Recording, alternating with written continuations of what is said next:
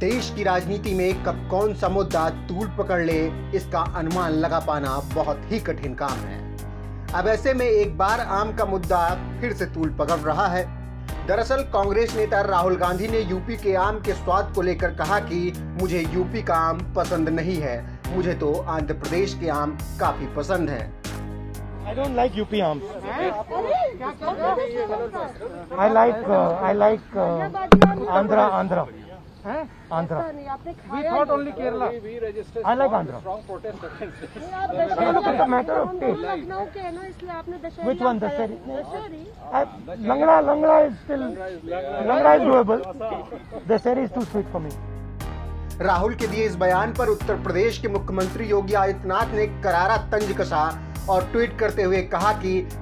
क्या करें? राहुल जी, आपका टेस्ट ही विभाजनकारी है।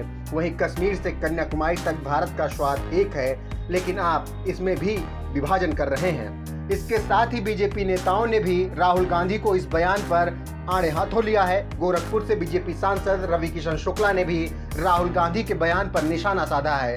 रवि किशन ने ट्वीट करते हुए कहा कि राहुल जी को उत्तर प्रदेश का आम नहीं पसंद और उत्तर प्रदेश को कांग्रेस नहीं पसंद। हिसाब बराबर। आपको बता दें कि पेगासस जासूसी मामले में केंद्र सरकार पर हमला बोलने के लिए प्रेस कॉन्फ्रेंस करने आए कांग्रेस सांसद राहुल गांधी ने हल्के फुल्के अंदाज में सवाल का जवाब दिया। प्रेस कॉन्फ्रेंस के लिए इंतज़ार कर रहे पत्रकारों ने राहुल गांधी और उनके पास में मौजूद कांग्रेस नेता केसी वेणुगोपाल और रणदीप सुरजेवाला से आम की पसंद पर सवाल पूछ लिया, जिसके जवाब में राहुल गांधी ने कहा कि उन्हें यूपी का आम नहीं पसंद है, बल्कि आंध्र प्रदेश का आम पसंद है। हालाँकि लंगड़ा आम फिर भी ठीक है लेकिन दशहरी मेरे लिए काफ़ी मीठा हो जाता है जिसके बाद इस सवाल जवाब का वीडियो वायरल हो गया। आई don't like UP आम। I like I like Andhra I like uh, I like uh, Andhra Andhra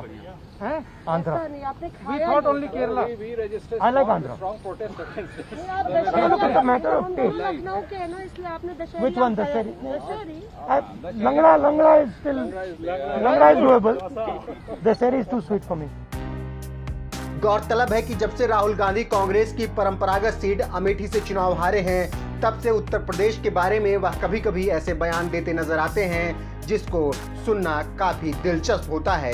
वहीं उन्होंने केरल के वायनाड से 2019 लोकसभा में चुनाव जीता था और सांसद बने थे, जिसके बाद से अक्सर केरल की तारीफ़ करते वो नज़र आते हैं।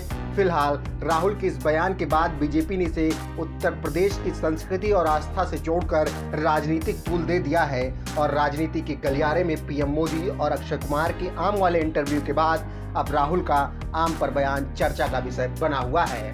ब्यूरो रिपोर्ट नमन सत्य न्यूज़।